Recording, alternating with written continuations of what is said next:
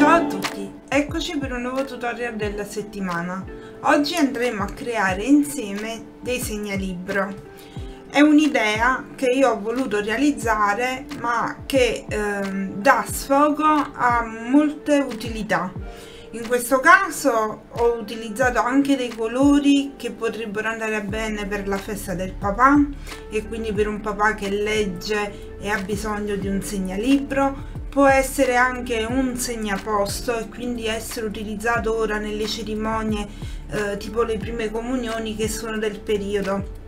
Tutt'al più può essere anche un'idea e mi porta anche già molto avanti anche per la festa della mamma. Quindi stessa storia della festa del papà. Se è una lettrice può utilizzare un segnalibro. In questo caso io vi ho mostrato già come ho creato il mio primo segnalibro e vado a ricrearlo allo stesso modo con del feltro però colore rosso.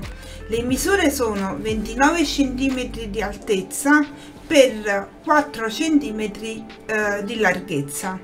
Io poi vado a piegare il mio foglio di uh, feltro. Il feltro tenete presente che è di un millimetro un millimetro e mezzo vado a piegare il mio uh, strato di feltro e nella parte chiusa quindi non quella aperta sotto qui mi centro uh, quella che è la metà e vado con una forbicina a creare un forellino.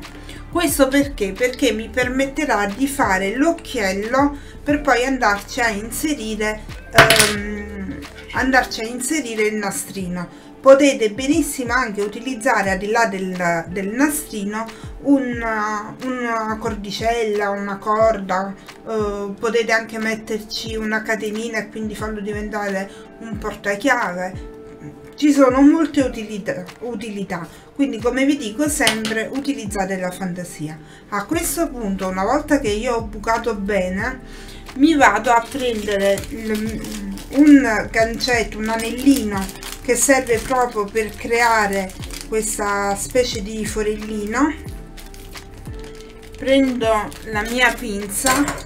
Allora di norma ci sarebbe anche la parte retro però perché il feltro comunque è già molto spesso o utilizzate un arnese uh, più grande quindi con dei cerchi più grandi che possono andare a prendere in questo caso un, uno spessore di 2 mm oppure come faccio io utilizzo soltanto una parte perché nel momento in cui mi va a forare dall'altra parte prende tutti e due i tessuti e quindi non si apre non avete il rischio che si apre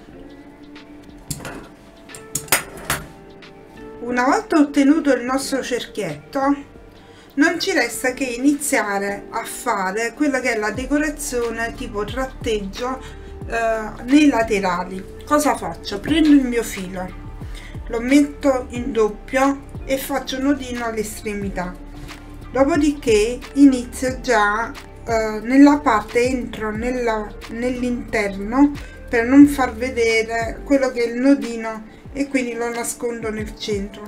Riesco piano piano nello stesso punto e rivado sotto. Questo perché? Perché vado un po a bloccare quello che è il punto iniziale. Tiro un pochettino e ritorno di nuovo nella parte iniziale quindi un'altra volta da dentro verso fuori. Una volta fatto questo io devo prendere entrambi i tessuti sia quello di dietro che quello davanti. Quindi mi vado a creare una filza avanti e indietro.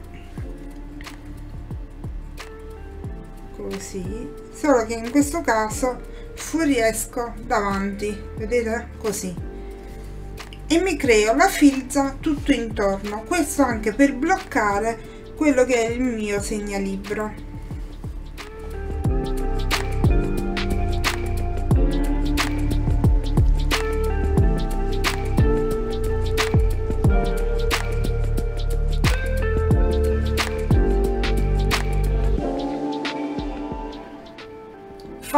questo passaggio diciamo che il nostro segnalibro è completato dovremmo andare soltanto a fare le decorazioni.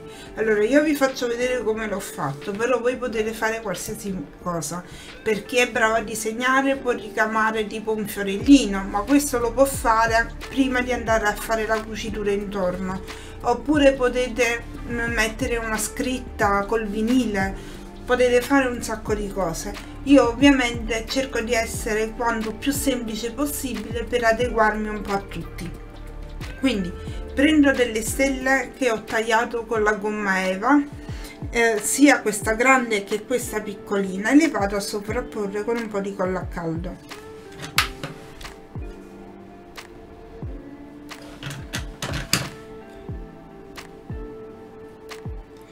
Applico le stelle uno sull'altro dopodiché sulla stella grande nel retro al centro metto un bel po' di colla e la stendo così leggermente tolgo i filetti in eccesso e la vado a mettere qui.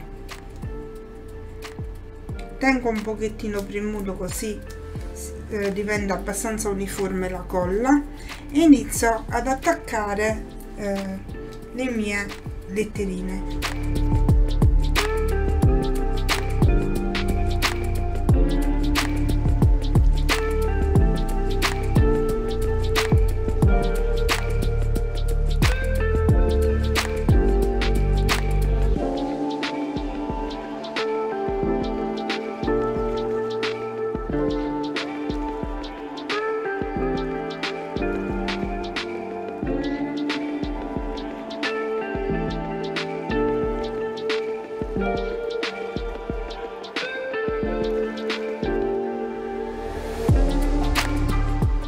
attaccati tutti i pezzi ora non ci resta che andare a mettere il nastrino. Semplicemente lo faccio entrare nel forellino che io mi sono ricavata.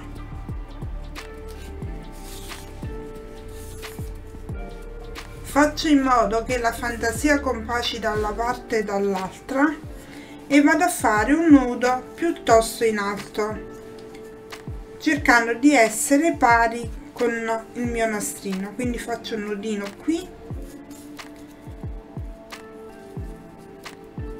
così.